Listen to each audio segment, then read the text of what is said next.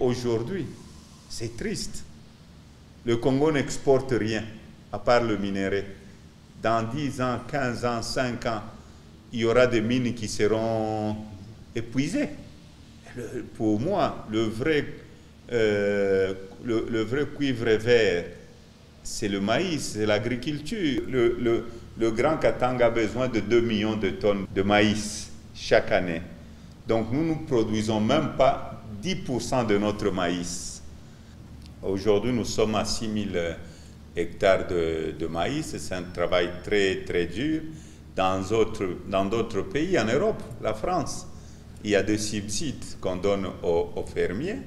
Ici, il n'y a pas de, de subsides. C'est très triste aujourd'hui, en 2022, que nous puissions demander de l'argent aux bailleurs de fonds, à nos amis, nous aider contre la malnutrition de 27 millions de personnes en République démocratique du Congo.